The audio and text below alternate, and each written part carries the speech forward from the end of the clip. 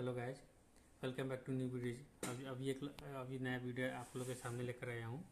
Account suspend हो गया तो उसे अनसस्पेंड कैसे कराएँ? अनसस्पेंड करना इतना ज़रूरी है कि देख सकते हैं ये ऑटोमेटिक पेमेंट वाला है। यानी मैं इस अदर कंट्री में, नेपाल कंट्री में ऐड आया हूँ और ये सस्पेंड हुआ है सरकमपेंडिंग सिस्टम पॉलिसी की वजह से। तो इसको मैं अनसस्पेंड करने जा रहा हूँ, ठीक है?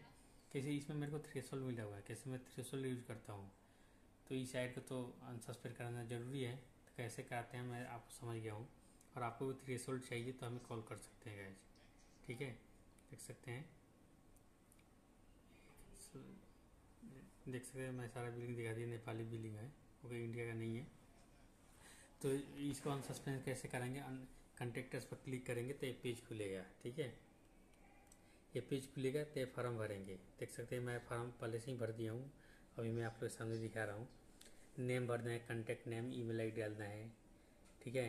कस्टमर आईडी सेलेक्ट करना है वेबसाइट डालना है एक कीवर्ड डालना है कैंपेन का कीवर्ड और उसके बाद प्रॉपर बिलिंग डिटेल डालना है, जो आपने बिलिंग डिटेल डाला होगा एड्रेस वगैरह, जिसे बोलते हैं, ठीक है? बिलिंग कंट्री नेपाल है कि नेपाल से बिलिंग हुआ है, ठीक है? दो आप सिंगल अकाउंट सिंगल है तो सिंगल नहीं तो मल्टी एम सी सी होता है एम सी सी नहीं तो एक्स कुछ भी, ठीक है? ये आप देख सकते हैं गाइज़ अपना बिज़नेस से तैयार, नहीं तो जो भी एक्स वाई जी कर दो माई सेल्फ खुद पे किया हूँ। क्रेडिट कार्ड डेबिट कार्ड के थ्रू पेमेंट है। ये डाल दिया। ठीक है? अब इसमें पूछ रहा है what country does business sort India है तो इंडिया डाल दिया। ठीक है? बिज़नेस के बारे में लाइन में डाल दिया। जैसे कि बोल रहे हैं, देख सकते हैं।